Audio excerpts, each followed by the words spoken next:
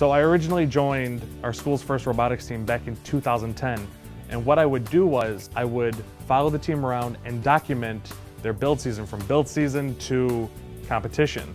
And at the end, I would put together a mini documentary and show the team what they've accomplished throughout that season. So at this point in my life, I currently make videos for a town government. It's because of FIRST that I am able to do my job better. I've become a better editor and a better, more well-rounded person because of FIRST.